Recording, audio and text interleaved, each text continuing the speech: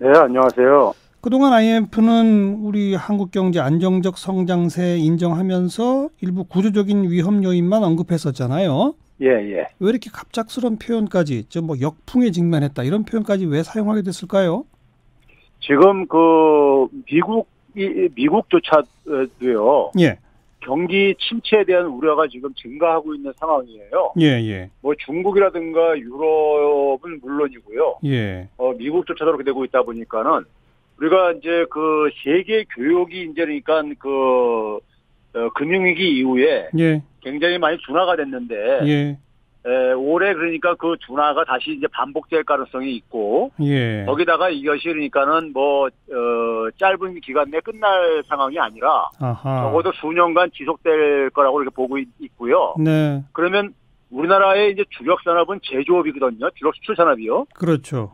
근데 이제 그러니까 수출이 세계 교역이 둔화되게 되면은 제조업이 타격을 볼 수밖에 없어요. 예, 그래서 이제 그 이 부분이 하나의 이제 세계 교육 둔화라는 것을 구조적인 요인으로 지금 보고 있는 것이고요. 예, 또 하나는 우리 같은 경우는 이제 인구 감소라는 구조적인 또 요인이 있잖아요. 그렇죠.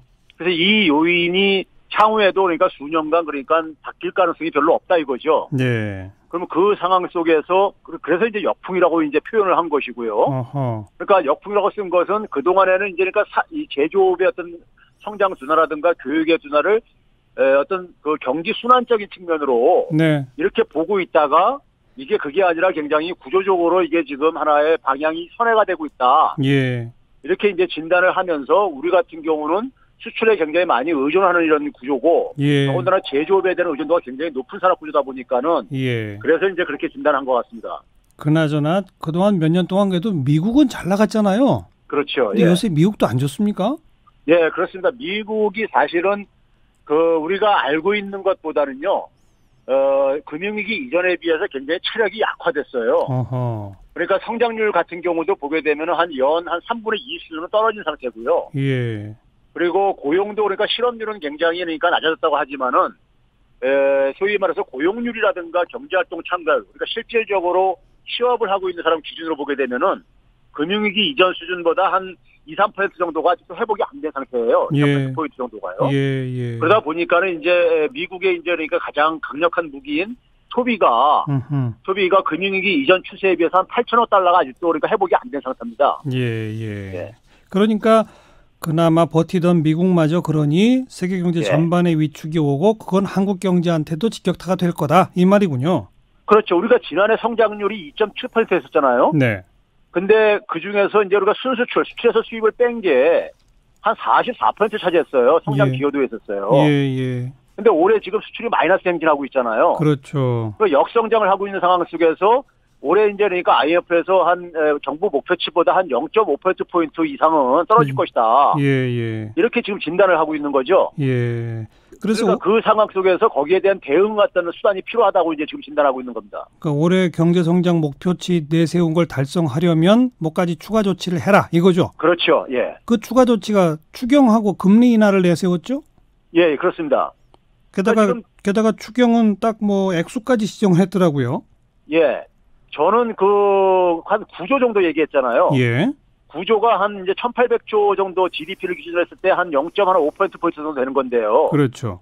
그러니까 지금 이제 우리가 목표치가 한 2.6% 정도 됐을 때 한 2.1% 정도까지 이제 그러니까 하락할 거라고 보는 거예요. 예. 근데 저는 이미 그게 진행되고 있다고 보고 있습니다. 예. 그래서 가능한 한 빨리 저는 집행할수록 좋다고 보고요. 예. 왜 그러냐면 경제 심리가 이게 이게 냉각되고 나면은 그 효과도 그만큼 약화될 수밖에 없거든요. 네. 근데 현실적으로 보게 되면 예를 들어서 우리나라 65세 이상 인구가 지난번에 제가 출연해서 말씀드렸지만은 1년에 30만 명 이상씩 막 증가를 합니다. 그래요. 근데 이분들이 사실은 민간 시장에서 일자리 잡기가 힘든 부분들입니다. 예. 그럼 이분들은 공공 일자리라든가 아니면은 결국은 이제 뭐 복지를 주거나 확충을 하거나 그 수밖에 없는 상황이거든요. 네, 네. 그러면 결국은 이제 재정 투입이라는 것이 잠재 성장률보다 그러니까 그래 크게 떨어진 상황 속에서는 교과서에서도 그러니까 정부의 어쨌든 간에 재정 투입을 통해서 시장을 보강하라는 것은 교과서적인 처방입니다. 예, 예. 근데 뭐 방금도 언급하셨듯이 지난 2월에 출연하셔서 최백운 교수께서 우리나라의 지금 저성장은 아주 구조적인 문제다 이렇게 지적하셨잖아요. 구조적인 예, 예. 그런 문제가 있는데 추경을 투입한다고 그 구조적 문제를 해결할 수 있는 것도 아니잖아요.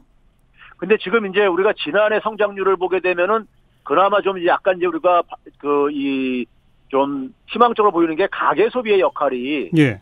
많이 개선됐어요. 예. 그러니까 우리가 2003년 이후에 되게 성장률보다 가계 소비 지수 증가율이 낮았었는데요. 예. 지난해는 처음으로 그러니까는 성장률이 2.7%인데 가계 소비 증가율은 2.8% 기록했습니다. 예. 그러니까 처음으로 역전을 했어요. 예. 그 지금도 우리가 경기의 버팀목이 사실은 그러니까는 이 소비 내수 이거 부분이거든요. 어허. 또 하나는 뭐냐면 우리나라 이제 국민 소득이 1인당 소득이 3만 달러 돌파했다잖아요. 그렇죠. 그럼 3만 달러 돌파하고 인구가 한 5,200만 정도 되게 되면은 우리나라 이, 이 경제 규모가 한 1조 5, 6천억 달러 정도 된다는 얘기입니다. 예. 근데 에, 이, 이 정도 경제 규모를 가진 선진 국가들은 대개 보게 되면 내수가 굉장히 튼튼해요. 그렇죠. 근데 우리는 보게 되면은 가계 소비가 여전히 뭐냐면은 한 50% 안팎뿐이 안 돼요. 예. GDP에서요. 예. 선진 국가는 한 60에서 70% 되는데요. 그러니까 이제 수출이 결국은 이제 구조적으로 어, 정체가 되는 상황 속에서 내수를 강화할 수밖에 없다 이거죠. 예. 내수 강화하는 길은 결국은 이제 그러니까 우리가 어, 일자리를 좋은 일자리를 많이 만드는 거 예. 이게 이제 산업 생태계와 관련된 부분이고요. 예. 또 하나는 저소득층에 대한 이제 그러니까 복지라든가 안전망을 확충하는 거죠. 예. 이 길밖에는 지금 단기적으로 우리가 어, 접근할 수 있는 길이 없다는 것입니다. 네. 즉 구조 추경 가지고 구조적 문제를 다 풀 수는 없으나 예. 어쨌든 성장률이 급격히 떨어지는 거는 살릴 수 있다 이 말씀이군요. 그렇죠. 그리고 이제 이게 떨어지게 되면은 사람들이 굉장히 이제 불안해합니다. 네. 불안해하게 되면 더 이제 지갑을 닫게 되고요. 예, 예. 그러면 가뜩이나 가게가 이제 그러니까 끌고 가는 경제에 더 이제 그러니까 이게 저기 둔화가 될 수가 있죠. 아, 그래서 예. 제가 이제 조기에 집행할수록 좋다고 보는 것입니다. 그 추경을 조기에 어디다 쓰면 좋을까요? 그러니까 이제 아무래도 가장 이제 효과가 큰 부분이 중산층하고 저소득층 부분인데요. 예. 예를 들어서 중산층과 관련된 부분은 이번에도 이제 그러니까 우리가 일자리를 늘리기 위해서는 인구가 가, 인구가 감소하는 상황 속에서요. 예. 14세 이- 이하 인구가 감소하는 상황 속에서 결국은 여성 노동력을 활용할 수밖에 없다고 이제 진단을 하고 있습니다. 예. 그럼 여성 노동력을 활용하기 위해서는 여성들이 그러니까 마음 편하게 일을 할 수 있게 해주는 환경으로서 이제 보육과 아육, 아동수당을 더 훨씬 더 개선하라. 예. 현실화시키라 이거죠. 예. 그리고 이제 에, 지난 시간에도 얘기했지만 극빈층들에 대해서 네. 보다 이제 그러니까 소득 직접 분배가 더 강화돼야 되는 부분이죠. 예, 예. 이 그런 그런 이 중산층과 저소득층이 아무래도 소비 성향이 높거든요. 예. 예. 그런데 결국은 보육 시설 투자, 아동 수당 증액, 극빈층에 대한 복지 지출 강화 이거잖아요. 예. 근데 국민경제자문회 부의장을 지내봐 있는 김광두 교수가 예. 추경을 복지 중심의 비생산적 단기 대책으로 쓰면 안 된다. 그렇게 할까봐 두렵다. 이런 입장을 밝혔어요. 예. 이 얘기는 무슨 말이냐면 제조업 구조조정과 제조업 기반 강화 쪽으로 써야 옳다는 입장인 것 같은데 우리 최백인 교수랑은 입장이 다르네요. 아, 다른 건 없습니다. 예를 들어서 어, 제조업 어, 기반 강화라는 것은 기반 강화라는 것은 제가 이제 제조업 위기라고 얘기를 했듯이 충격하고 얘기했듯이 네네. 제조업 기반 강화는 필요한 거죠. 그걸 예. 정부가 안 하는 것도 아니고요. 예. 안 하는 것도 아니고 단지 그것만 가지고는 불충분하다는 얘기죠. 아. 제조업 기반 강화가 시간도 걸리고 네. 시간도 걸리고 그다음에 그 제조업 기반이 강화될 때까지 예. 그때까지 그러니까 많은 지금 이제 제조업 충격이라든가 수출 충격으로 나타나는 이 부분을 예. 이 제가 지난 시간에 그런 표현을 했잖아요. 뚝이 무너졌는데 예. 우리 범람을 해요. 마을이 잠기게 되면 사람 목숨이 새로워지고 집도 잠기게 되고 그런단 말이에요. 예. 그럼 근본적인 대책은 뚝을 재건하는 거지만은 예. 뚝이 재건될 때까지 그러니까 사람 목숨도 구해내야 되는 거잖아요. 예. 그리고 집들도 임시 주거시설도 제공해야 되는 것이고요. 예. 예. 이게 이제 병행이 돼야 된다는 얘기죠. 네. 그리고 우리한테는 충분히 그런 재정 재정의 여력이 있고요. 네, 네. 그리고 금리 인하도 요구했어요. 저는 굉장히 교과서적인 처방 같은데요. 어허. 사실 대기업들 같은 경우는 금리가 지금 높아서 지금 투자를 안 하는 건 아닙니다. 네. 그렇죠? 그렇죠. 근데 사실 보게 되면은 어, 영세 자영업자라든가 서민들 같은 경우는 은행을 이용 그러니까 제도권 은행을 이용을 못 해요. 못하죠. 그러다 보니까 굉장히 고금리를 이용을 하고 있습니다. 예. 그래서 실질적으로 서민들한테 그러니까 금융이 지원될 수 있는 그러니까 그 서민들에 대해서 그러니까 지금 제도권 은행들이 제도권 은행들이 제대로 역할을 못 하고 있기 때문에 예. 저는 한국은행이 직접 금융 중개 역할을 좀 해야 된다고 생각이 들어요. 예, 예. 그래서 우리가 중소기업한테 우리가 특별 융자를 해주고 있듯이 음흠. 정책금리라를 적용해가지고요. 예. 해주고 있듯이 소상공인이라든가 자기가 자활하려고 하는 이제 그러니까 그런 서민들에 대해서는 저금리로 예. 그러니까 저는 중금리 10%도 높다고 봐요. 예. 그러니까 저금리로 해야지만 실질적인 자화를 지원해 줄 수 있거든요. 예. 그래서 서민 금융 제도를 보다 더 이제 그러니까 한국은행이 적극적으로 개입을 해야 된다고 저는 보고 있습니다. 어, 금리 인하라기보다는 서민 금융 지원 이게 더 효과적이다 보신다? 그렇죠. 금리 인하가 서민들한테 정작 필요로 하는 사람한테 돈이 안 가니까요. 서민 쪽에 집. 집중적으로 금리 인하 효과가 가도록 그렇죠. 어, 그러다가 가계 부채를 더 키울 우려는 없을까요? 아니 그러니까 예를 들어서 이겁니다. 우리가 예를 들어서 3천만 원 정도를 만약에 은행에서 대출 받을 때 서민이 받을 때요. 금리를 만약에 10%에서 20% 정도 수준을 받게 되면요. 네. 그거 가지고 예를 들어서 동네 분식점을 했을 때 예. 자활을 하기 힘들어요. 그 예. 진짜 수익을 그만큼 내기 힘들기 때문에요. 예. 그런데 만약에 그래서 중소기업 같은 경우는 지금 기준금리보다 더 낮은 금리를 지원받고 있습니다. 0.75% 정도로요. 예. 그럼 그 정도면은 그러니까 어, 금리 비용이 굉장히 낮기 때문에 그러면 실질적으로 자활에 굉장히 도움이 된다는 거죠. 네, 네. 그 그다음에 뭐 노동시장 유연화 또 동시에 사회 안정망과 적극적 노동시장 정책 이런 또 예. 제안을 했단 말이에요 IMF가 예. 예. 이거, 이것도 좀 교과서적인 거죠.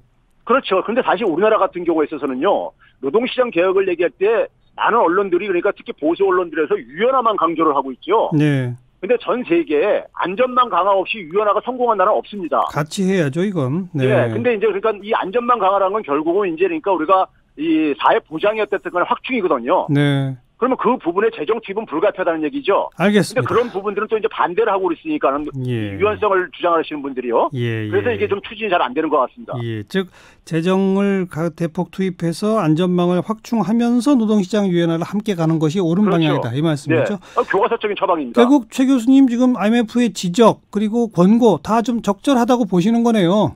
예. 근데 네. 그걸 저는 좀 더 재정 규모도 더 키워야 되고요. 구조보다 더 많이? 키워야 되고, 예. 예. 한 예. 13조 정도는 키워야 되고, 예. 그다음에 가능한 조기에 해야 됩니다. 예, 13조 가량의 추경 조기에 합시다라는 제안까지. 네. 고맙습니다. 네, 감사합니다. 건국대학교 경제학과 최백은 교수였습니다.